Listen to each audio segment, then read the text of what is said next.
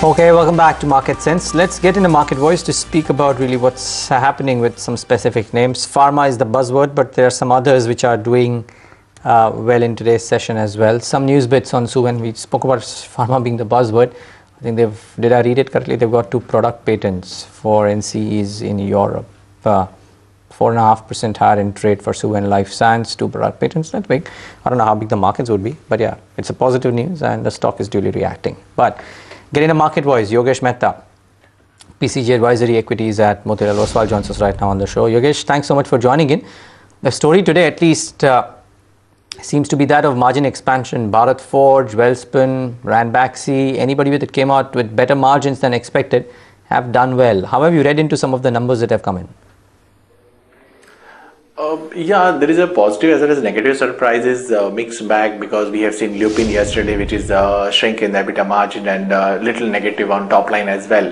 Wherein Ranbaxy has come out with a better set of numbers, bearing uh, quarter on quarter comparison of uh, last year was uh, not comparable because of exclusive US rights, which was 500 odd crore. So that way we are reading that uh, overall EBITDA margins are showing improvement, but uh, then also on the PAT number, uh, barring only pharma sectors and IT which has performed well, but rest of the sectors are not uh, uh, are subdued and muted growth. So overall, uh, sectoral specific it is yes very much better, which was which is in line with expectation. Yogesh, uh, once considered the sunrise sector, the infrastructure basket is now coming under a fair bit of pressure, a mountain of debt, cash flows drying up. What would you advise to people who are holding on to some of these names? Uh, especially uh, uh, on the infrastructure stocks, uh, yes, the environment is not uh, at all positive and not supportive as well uh, till now, and it seems that you know headwinds are still there. So we are those who are not interest, invested so far, we are just bearing them out so far and those who are invested now already it is uh, so much down and pessimism surrounded by pessimism there is no point exiting from this level. So better hold on to that and uh, because uh, everything clarity will come post election results only. Till then uh, there is no future for this and because uh, uh, rupee again uh, rupee dollar parity is not favorable and economical condition is also not favorable and new orders are also lacking. So just avoiding this infrastructure uh, sector as a whole. We spoke to a textile company. It's not a fancy tech sector, but some of a couple of results have been fairly okay too. The management sounded fairly confident of the next three, four quarters looking good as well, Yogesh. Have you looked at these companies in the last couple of quarters? Uh, per se textile, no, Neeraj, not per se. We have not, uh, I have not looked in any of the companies per se because uh, the Raymond was last result, which was not so good, and still uh, company is uh, quarter on quarter there is a loss again, uh, but not really, nothing on the textile side. What's your view on some of the banking names because brokerages are downgrading some of these stocks left, right, and center?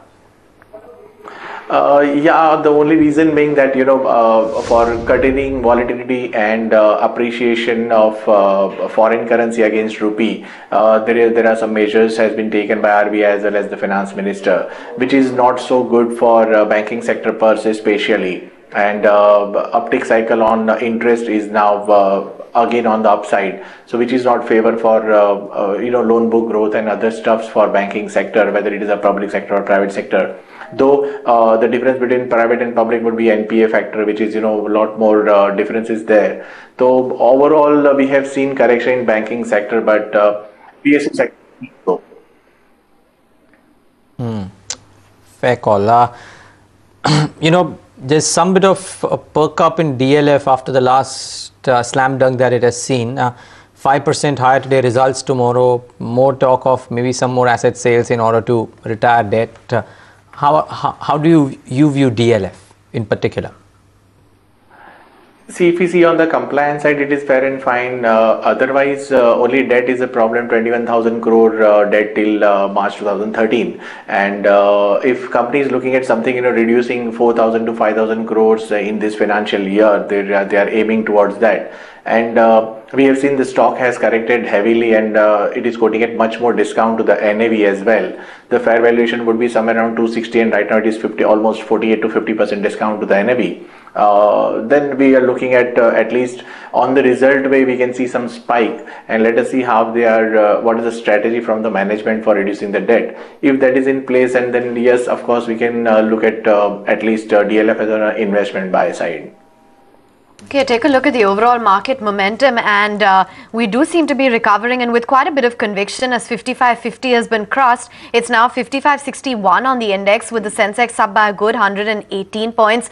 Broader markets following suit. The market breadth is healthy. You've got healthcare. Uh, pardon me, you've got real estate, metals, auto, and banking stocks, which are holding up pretty smartly. Yogesh, what's the portfolio strategy in a market like this, where even when we do see a bounce back, it's with a bit of lack of conviction? Uh, yeah, still the market is in a limbo, and uh, technically we have got support, but fundamentally there is no support for the market, and the stock has uh, uh reacted much more earlier than uh, Nifty has reacted. Uh, overall, 54.75 to 54.50 seems to be a strong support level for the market on the Nifty as well. And on the portfolio side, yes, there are some stocks which are available at uh, attractively priced uh, in terms of valuation. And uh, particularly if you look at in auto, then uh, you have a great comfort with Maruti here, and uh, sure. of course with Tata Motors result. And there is also very much uh, good because totally Right. betting on JLR only. And Mahindra and Mahindra, if you take a call on monsoon, which is a good monsoon expected Sure. this year almost halfway we have done. So Mahindra and Mahindra on the tractor business as well as the UV both the ways. These are the three stocks per se in auto looks very strong. And Great. IT, if you see the depreciation of rupees further in on the way, Sure, then sure. IT would be the better uh, placed uh, companies. We have HCL Tech and Tech Mahindra. Right, Yogesh, afraid we'll have to leave it at that. Running out of time completely, and and just getting a quick phoner in from Tilak Nagar Industries as well. A couple of things. I think they came out with numbers. There's some talk of a stake sale as well. Mr. Lakshmi Narsimhan K, Deputy Managing Director at Tilak Nagar Industries, joins us on the phone line. Good having you. Thanks so much for joining in. Uh, we will talk about your results.